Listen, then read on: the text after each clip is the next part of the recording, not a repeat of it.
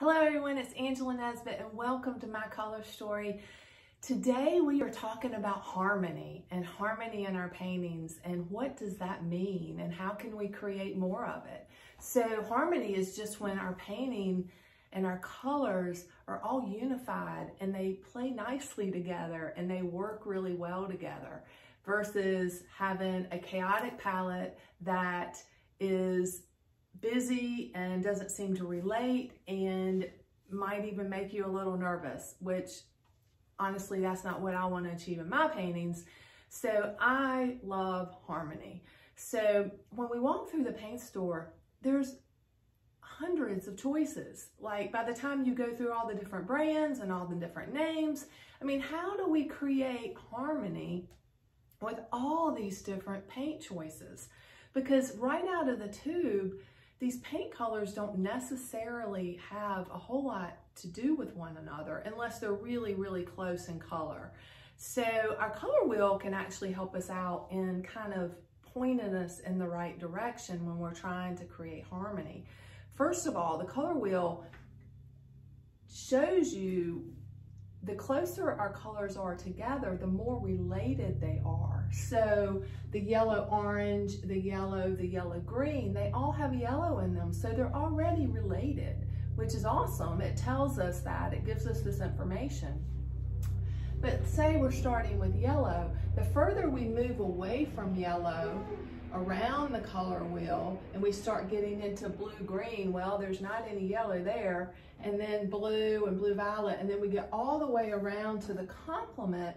Now we're all, all the way around to the opposite side to the complement. And these two colors have nothing in common. They are the the most opposite that you can be um, on the color wheel so they have their purposes and they do great things but they are not they do not have harmony. They have actually a little bit of discord because they they create a lot of vibration on the canvas. So those are things that we can keep in mind. So a few ways that we can create harmony on our canvas is I'm just going to sh share a few that I think work great. The first is just to start with a limited palette, meaning you don't use a ton of different colors in your paintings so that you can your colors are more likely to to unify and have a little bit of each other in the other one if you don't have so many colors to choose from. So that's a great way to start is limit your palette. You know, limit yourself to maybe six colors or maybe even three um, and see how much that helps you to just create this very, with ease and grace, very easily create harmony. Secondly, we can use color schemes that are fantastic. And there's a lifetime of, of teaching and knowledge in all of these color schemes, but you can use complementary color schemes, which are using, you're using the opposite, but you're using a dominant in one, you, if you pick a complementary color scheme, you're gonna be dominant in one of the colors, and then you're gonna use just a smaller amount of the complement to create some zing and some excitement. You also can make some amazing neutrals and grays from those complements together that really can support that whole painting. You also can use triads, which are just colors that are equally spaced around. You pick a primary um, that are equally spaced around the color wheel. Those create nice harmony in paintings. You also can use analogous co um, color schemes, which are just choosing colors that are close together on the color wheel, or monochromatic, which are paintings that are just using one color and all the different values and um, and use it and you know that will create great harmony.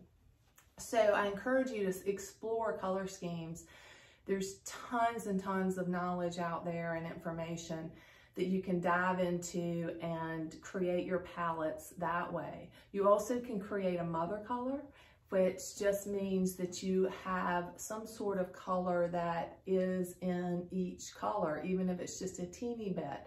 So you might mix up a gray or you might use just simply a color like a blue and put a little bit of that blue in each color. That can unify your palette and bring it together and create a tremendous amount of harmony.